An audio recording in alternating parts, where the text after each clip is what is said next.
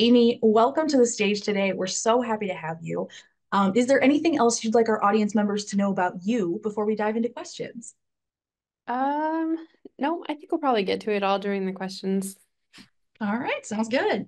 Now, just a quick reminder to everybody uh, watching us at uh, at home or on the live stream. Hi, if y'all have questions today, please please feel free to submit those. Send them in in the chat. Um, we would love to uh, answer any questions you might send us. All right, so Amy, let's dive in here. Now, your journey started studying hotel and restaurant administration, um, and you have uh, kind of come around full circle to become a software development engineer at Expedia. What was your thought process during those career transitions, and how did you navigate such kind of really diverse fields? Yeah. Um, hi, everyone. Um, thanks for having me here. And uh, first, I just kind of want to tell you what my journey is so that you can see um, it wasn't one huge jump, but a series of uh, smaller ones, right? So it it's it's a little bit easier to digest when you um, take it in small pieces instead of like hospitality to um, software engineer, right? So um, as Meg said, I majored in hotel restaurant administration, and uh, then I was working as a concession manager for um, Seahawks Stadium, uh, White River Amphitheater, and then the University of Washington. And after a few years at uh, the University of Washington, I was ready to get married and start a family. And the hospitality industry was, in my opinion, not conducive to that lifestyle. Um, I worked a lot of nights and weekends, and uh, I I just needed something else. Uh, so a friend that I had worked with at the stadium um, posted on Facebook that there was an opening for um, an administrative assistant at Expedia. And most people would think of that as a huge step backwards because I had been managing thousands of people on an event day, um, nonprofit groups, employees, um, working for manager and being a manager. And so um, I asked her how much the position paid, and the role paid the same that I was getting paid as a manager to be an hourly, an hourly um, uh, individual contributor. And so I decided why not, right? Why not try for it and and see if I can get it? And um, I actually did not get the job when I first interviewed, and uh, then the person who got the job was um, falling asleep on the job, and they let her go. And my friend said, "Look, you've got to interview. Uh, you know, see my friend." And um, so I interviewed again this time with our chief information officer, and he said, um, "You know." I hope someday someone else gives my, he said, I have two daughters and I hope someone else gives uh, them a chance someday. And so I'm going to give you a chance and let's, let's try it out. Right. Um, so that got me in the door at Expedia. And uh, from there, I, uh, I worked in as an admin in my admin role. I worked directly with the procurement team. Um, so when they had an opening on their team, the uh, the manager came to me and said she had an opening and she wanted me to apply for it. So I did, and um, I asked her actually a bit about it, about the role and what you know it entailed, and decided that uh, I had worked with purchasing in my role at um, the stadium, and uh, so it seemed like a good fit. Uh, so from there, um, I actually moved into leadership, and in that team, I worked closely with the financial systems platform team here at Expedia um, because they managed the team that um, uh, that ran the. They were the team that ran managed the tool that I used to create purchase orders, right? Um, so I worked with them very closely. I was a subject matter expert um, for the procurement team with their tool, and um, I, I noticed one day that they had an entry level system administrator opening. Um, so I talked to one of the current system administrators, asked her about what the role was, and um, and I had worked with the hiring manager there as well um, uh, through my role in procurement. And thankfully, he took a chance on me, and he gave me um, he gave me the job as the entry level sysadmin. So that, that was how I like moved into the IT world. Um, and oh man, that was that was a huge jump uh, for me because even though I was using the tool, I still I had to learn SQL. I had to learn other languages. Um, so thankfully they hired me, and I I made that jump. Um, but again, in that transition, before I took the role, I spoke to somebody who was already in the role to find out more about it and would it fit um, with what I what I thought I could achieve.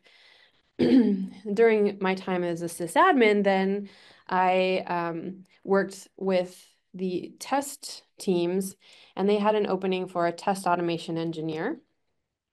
And in that role, uh, I needed to learn VB script, um, which I used a tiny bit um, with dealing with macros in Excel. Um, and I, I talked with the hiring manager for that role and just told her, you know, I was upfront with her and said, look, I only know this, this, this much. And she said, that's okay. Um, uh, your she, because I had worked with her, she said your attitude and aptitude for learning um, means that I know that you will succeed very quickly in the role. So she um, also took a chance on me, and um, eventually that role uh, changed into a software engineer role because at large corporations things are always changing. Um, and uh, I still work for the financial systems platform team. Um, and uh, it's been actually really great. And I've learned so much. And I've just learned things along the way because um, every person and every team that I worked with, I, um, I, I've just looked at the at the role first to see if it was something that I thought I could do. Um, and in every role that I went into, it wasn't something completely 100% new. It was, um, you know, is there something of this role that I could take into the next role um, that so that the days when I was having a bad day, I could fall back to the stuff that I knew. And then there was days when I had new learning. So, um, so there was always that kind of a, a piece. So there was always something a little bit different. Um, navigating the big jumps, especially from uh, procurement to sysadmin and from sysadmin to test automation engineer, was not easy. Um, but I had someone who championed me and was ready to answer questions whenever I got stuck. Um, the other thing is setting boundaries um, and expectations. For example, when I moved into the procurement space, I had unknowingly made some mistakes um, that affected a member of another team. She got frustrated and sent this email blast that was just, you know, not pleasant. and so helpful those are, right? Yeah, yeah, right. And so I just reached out to her individually instead of getting like super angry and defending myself back to this blast. I just I just met with her and said, Look, I'm new. I didn't realize that I was making this mistake. I'm very sorry. I'll correct it. And in the future, if I make a mistake that affects you, just let me know right away and I will uh, make sure that I don't do that anymore. And if I do it, then feel free to go and blast. And, you know, and, and by setting that boundary and that expectation for her, um, it, it really fixed everything. I mean, she she took it, she accepted it, and she we have had a great relationship ever since. So um, just making sure that people I, were aware, right? Yeah, I applaud you for having the wherewithal to do that because that's not an easy thing to do, especially when you know, like, it was a mistake. I didn't do this on purpose. Like, it can be really hard to kind of confront that energy. But yeah. good for you. Like, that's not an easy thing to do. So, congratulations. Like, that's very impressive. Thanks. You're welcome. Um, yeah so i think pretty much just just making sure that um, before i i took a role i i found out a little bit more about it um, and then had someone there who um, i could go to you know on those days that i was just um, you know not needing help right? Yeah yeah there's always there's always going to be those days where stuff's a little bit harder or you're just kind of looking at this like why did i think this was a good idea? Why like the motivation might be gone focus might not be there. I think we've all had those days. So yeah invaluable yeah. to have somebody else in your car- corner who knows where you're trying to get and is like no no no no. You're just at the hard part. You're on the hump. Just keep on moving. Exactly. Exactly. Yeah. I love that. Okay, so I think your your experience in the in the hospitality industry, I think, is very familiar to a lot of us. There's many of us who spent time in those trenches. Yeah. Um, is there any skill or lesson that you picked up from the from your time in hospitality that you use regularly? Yeah. So um, for uh, when I had just started working as a concession manager at the stadium, um, we had a particularly busy event, and I was only managing three concession stands at the time, which um, doesn't seem a lot to me now, but at the time it, it seemed like a lot, right? And midway through the night, um, our biggest concession stand was hit really hard. Um, and I felt really bad for the workers that were getting slammed. So I jumped in and started helping them, thinking, you know, they can see that I'm just as hardworking as them, even though I'm a manager, and I want to, you know, show them that I'm on their team and I'm on their side. And uh, my manager found me working in the kitchen and he pulled me out and he explained to me that if I got mired in the details of that uh, one location, then I didn't have, um, I didn't have any idea what was going on in the other locations, right? They could have been on fire and I would have had no clue.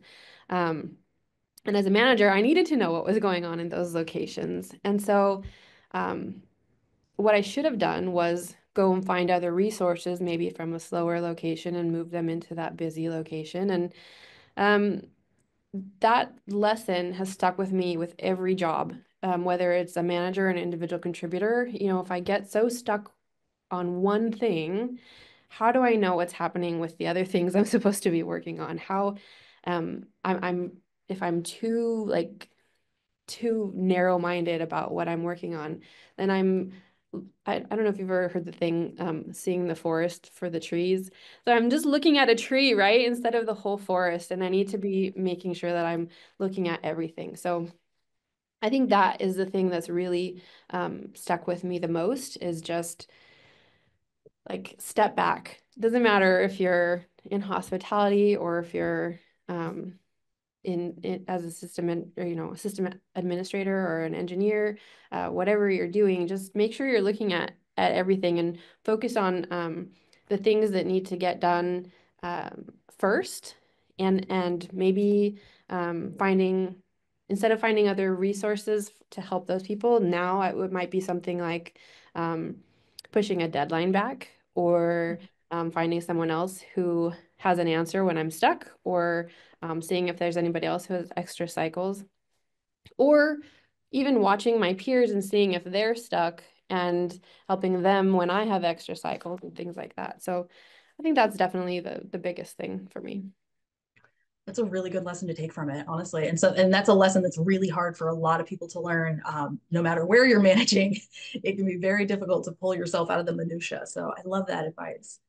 Um, okay, many people feel pressured to follow a linear career path. I think I'm well among with a lot of us that were told, like, okay, you go to school, you graduate high school, you go to college, you get your degree, then you go get a job. That's what you do. Um, what advice would you give to someone who is hesitant to explore different industries or different roles outside their current expertise? If you already feel like you're on the train, what like what do you what do you say to people that are like, ah, oh, but I'm already here? Yeah, so I've been really blessed um, having a lot of people in my corner. Uh, my father was the second of seven children, uh, and they were all migrant workers. So they traveled from Mexico and through the US. And one of his sisters is actually now the CFO at Idaho National Laboratories. Um, she recently told me that our careers are lattices, not ladders. So if you chase experiences and not the next promotion, then the money will eventually find you. And I agree with her that our careers are lattices, right? The idea of the lattice is that we have flexible mobility in our careers. And every role I took was something that interested me, which meant that I got to learn something completely new. Um, I don't have statistics, um, but it seems that most jobs today are looking for a breadth of knowledge and not just subject matter experts. And so if you have a career that is more of a lattice style, you'll have a breadth of of knowledge and the companies that the companies are looking for and there's more opportunities open to you, right? You can move in any direction, not just up. Up isn't the only way to get a pay raise. Um, it might be a quicker way to get a pay raise, but not necessarily a more fulfilling way. um, so don't let that be your biggest motivation. And also, earlier this year, I attended a Latinas in Tech conference in San Francisco. And during that conference, the CFO of Toast, um, her name was Elena Gomez, she said something that changed my my entire view of my career path. Um, she said we should capitalize on our uniqueness. And it really hit me. It just really stuck. And uh, before hearing that, I was a little bit ashamed of my path, right? Like I didn't want, I, I didn't have the traditional path. And so I didn't want other people, um, other engineers to know that I didn't have this background of, of going to school and learning all these languages, coding languages and everything. And so Um, after that session and after hearing what she had to say, it really um, made me realize it's a way for me to stand out, right? Sharing mm-hmm. my path is a way for me to stand out and say, look, the challenges I've look at the challenges I've faced and I've still made it this far, right? Um, yeah. So in my opinion, a, a nonlinear path gives us better stories to tell, and those stories help us to be remembered and to stand out. Heck yes. Are you kidding? I mean, if anybody sat through more than one chat of mine, you probably know. Like I also have a nonlinear career path. I went to law school. I was sure that's what I was going to do. Then I worked in um, purchasing for a manufacturing company. Then I worked in audiobooks. Like any port in a storm, y'all. Some of us didn't graduate into a great, you know, great uh, uh, economy. So I think you're right. It is it is a superpower, and it can be that uniqueness that ma- that separates you, that gives you those extra experiences that no one else in the room has had because they were possibly either all on the same path or roughly adjacent to each other on their parallel paths. So I think it is really important to to highlight that like just because you don't have what's what the rest of the people in the room have, that's not a bad thing. That doesn't make you less than. It just makes you different, which gives you a leg up and, and you know something that the other people in the room don't have. I think that's really really good advice. And thank you, Amy, for sharing because I also know that feeling of like I didn't go to college for this. Are you going to be mad at me that I'm doing this right now? Because like yeah, um, all right. So we talked a little bit about hospitality and how that, um, you know, how that that kind of played into uh, some of the lessons in your career.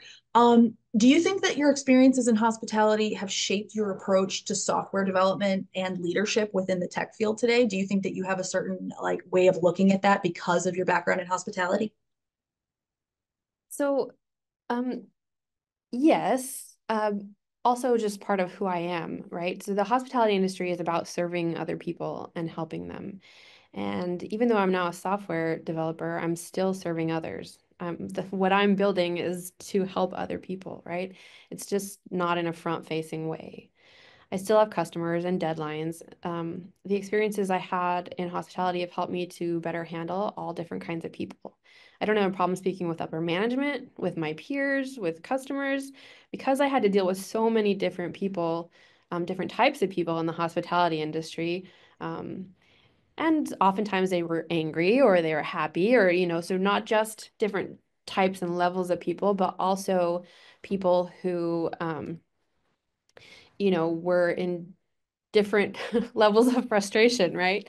bringing um, different energies to the yeah, table. Yeah, exactly. Right. So because I had to learn all of that, it helped me. Um, um, because I worked with so many different types of people in the hospitality industry, um, managers, employees, and nonprofit groups all needed something different from me. So I had to learn how to discern what they each needed and adapt quickly. Um, and now I can apply those same principles as a developer. At the core of who I am, though, I love helping other people as I look back on each of the roles that I've um, mentioned to you, uh, every one of them was some way of serving somebody, right? Even transitioning to administrative assistant, that's a huge service role, right? It's yeah, it's not hospitality. Um, the work that I'm doing right now is uh, I'm automating processes that are essentially busy work for other people on my team. Um, so it's helping them also, and and that's the work that I'm most passionate about. Uh, the work that's going to take away the headaches for the other people and save them time. I think that's excellent, and you're right. You know, there is you you do still have a lot of the same functions, um, and I think, God, I'm telling you, man, uh, one year in the service industry, and I, I think it should be mandatory. I really do because um, it teaches you all kinds of amazing skills that let's be real they're talked about as kind of pejoratively as like soft skills yeah. But that's the stuff that follows you from job to job. That's the kind of thing that's like the nuts and bolts of how you get through life. So yeah, I love this experience. All right. Um, okay. Obviously, we've talked about some of your more significant career pivots as well as some of the smaller leaps in between. Um, when it comes to the bigger pivots, how did you overcome challenges to help you find success in a completely new field? You're not just in a new role, you're in a new industry. Yeah.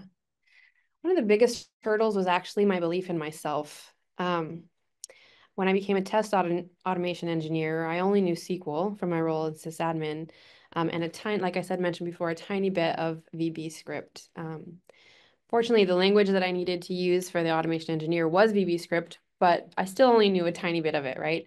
and as I said before, I was upfront with a hiring manager, let her know um, that I only knew a little bit, but she was my biggest champion, and uh, she still is. Uh, she there were so many days when I told both her and me, uh, you know, what did I get myself into? I, I really was like, what did I sign up for? And I had I had some serious um, doubts and um, you know just just was spiraling right and she always brought me back um, and you know made sure that I knew that I was what the team needed and that the things that I brought to the table were um, useful. And she's just been a mentor for me, right? Um, there's been other people as well on the team that have taught me new things. Expedia has a lot of um, ways to learn things also. And um, every team that I've been on has just been super helpful. Um, everyone is, has been really willing to teach, right? I've I have never come across anybody in my time at Expedia that has just been like, I don't know, I don't have time for you. I'm not going to show you. I'm not going to help you. Um, and so that those are the other things, right? Is just being patient with myself, having this mentor who's been wonderful, and um, learning, right? Just asking for help. Um, I realized that I didn't I didn't want to ask for help because I thought it would make me look weak. Uh, but I've realized now that asking for help when I need it is not weak. It just means I come to a solution quicker, right? We're stronger yeah. together and we have to find people that lift us up and when we're down and we need to do the same for them. Yes. Oh, okay. I'm I'm loving all of this.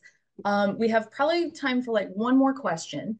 Um, all right, let's sorry, all medicine alarm. I forgot to turn that off. Um, okay, let's talk about Expedia Group. I want to pull back up here. Um, yeah. career pivoters, returners, you know, and people like yourself and myself who are coming with very nonlinear paths. Um, yeah. How does Expedia Group help to pe- help people like that to forge their own career paths at Expedia? Yeah, I love this question. I, I had to do a bit of research and remembering on this one because there's not something that that was like, oh, here's what Expedia does, right? Um, but Expedia is a really large company um, and they have so many different job opportunities. They also have something called gigs where people can apply um, and spend a small amount of time on another team so that you can learn something with the other team. Um, we have a career hub where you can find a mentor. You can access all different kinds of learning options. Um, they even have options to learn other languages on there, which is cool um, at least to me. Um, you can see what jobs are available on the Career Hub. Um, and you can also put information about yourself. So not just, you know, your your current job stuff, but you can put um, different things that you have experience with so that when other people are looking at that or at you, um, they can see that information there. um, at our Seattle campus, uh, and maybe other elsewhere, I'm, I'm not totally sure, but definitely at our Seattle campus, we have a team called the Host Experience Team. Um, they've implemented something called Find My People, where they set up different events for people, um, like minded people to get together. So, some different groups, for example, were Lego enthusiasts, board game enthusiasts, um, plant people, skating people, hikers, gamers, soccer, etc. And it's a great way to meet people that are not necessarily in your same line of work or in your same career trajectory, but it gives you an immediate way to start a connection. Um, we also that yeah, it's pretty fantastic. Uh, you just yeah. have to make time for it, right? You have to make the time for it. Well, um, that goes back to what you said earlier about boundaries, you know? Exactly. Yeah. Um, we used to have a Slack channel that you could join where you would it would pair you up randomly with someone else to go have coffee for a meet and greet and just be one-on-one meet and greet to meet someone else, some other random person in the company. Oh yeah, we use Donut for that on our Slack channels. Oh yeah. Yeah, yeah, it's a good one. It's a good one. It's a it sets up a, a question. It's really fun. But yeah, we oh. use the same kind of thing. I love that idea. Yeah. Um, we also have inclusion and diversity groups, which we call inclusion business groups or IBGs, um, to help people connect with others uh, like them.